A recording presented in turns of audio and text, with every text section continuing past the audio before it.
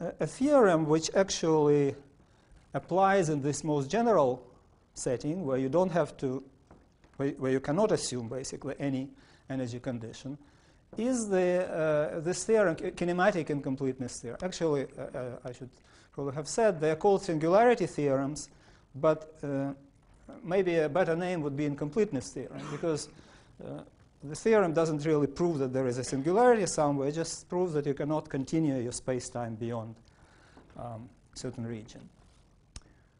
Uh, so this um, kinematic incompleteness theorem that I proved with uh, Borde, Alan Guth, and Alan Guth several years ago, um, very loosely stated, it says the following that a space-time that is on average expanding, that is the average Hubble rate, is positive, is past-geodesically incomplete. I will give a more uh, accurate statement in a moment. But the important thing about this theorem is that it is a purely geometric theorem. It doesn't uh, assume any dynamics. That is, it doesn't uh, rely on Einstein's equations. You could have some other theory based on some other equations. Um, it also doesn't assume any energy conditions. Actually, both Alan and I mentioned this theorem when we were here 10 years ago uh, at Stephen's 60th birthday. And from that, you can actually figure out the average time it takes to publish a paper when you write it with Alan Guth.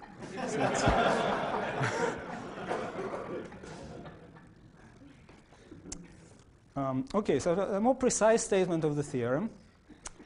Um, so first of all, I should say that uh, an ex expansion is not really a property of space-time. It is a property of a congruence of geodesics in that space-time. And we say that a space-time is expanding if it can be filled with a, an expanding congruence of comoving test particles, that is geodesics.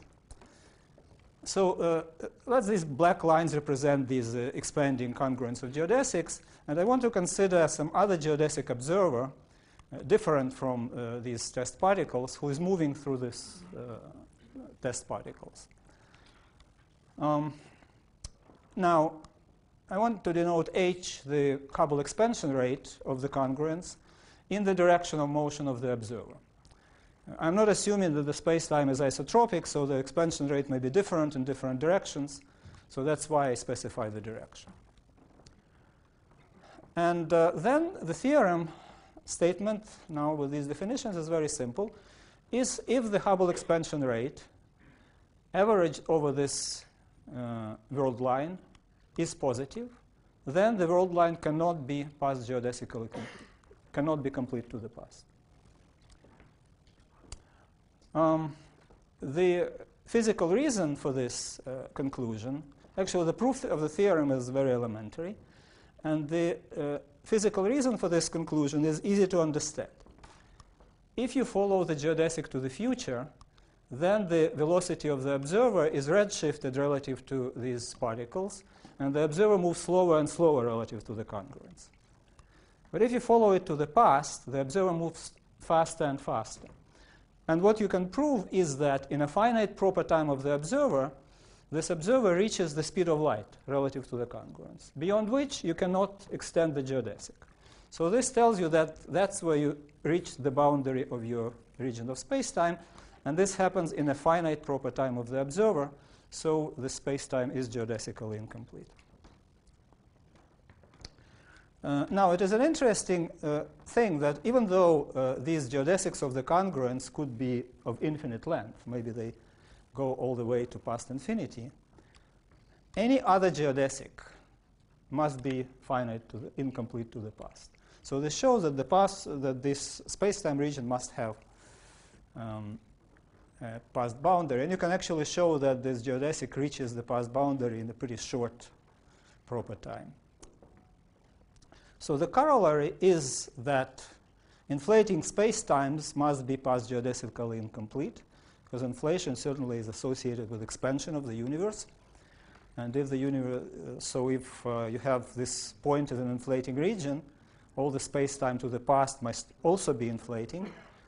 And that indicates that inflationary universe must have a beginning.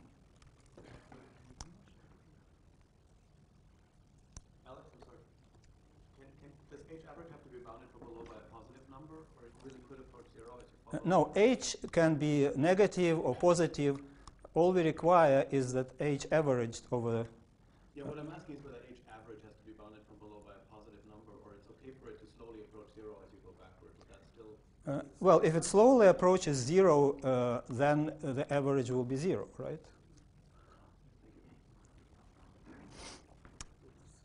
Okay, so uh, now an interesting uh, proposal to avoid this conclusion was made by uh, these people, starting with Aguirre and Gratton.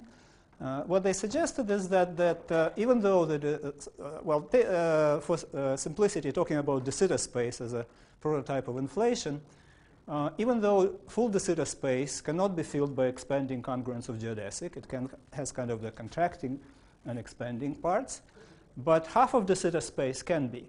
And so what they said, okay, what if the arrow of time is reversed in a half of de Sitter space? So you can do it this way with a null boundary between the two parts, or you can do it this way with a space-like boundary.